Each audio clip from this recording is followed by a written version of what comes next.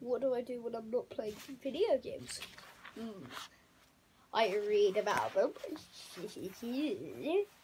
and I think about them. And I also do homework.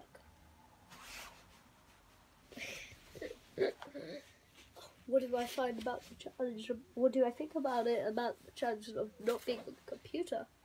Well, that's difficult. um,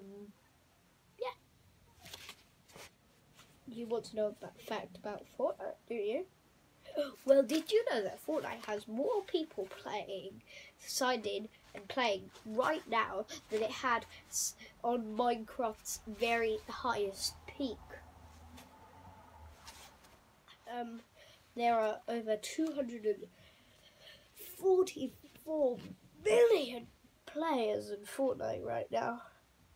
Not right now while, while I'm talking, but or while you're watching, but the, in total, that's how many accounts there are.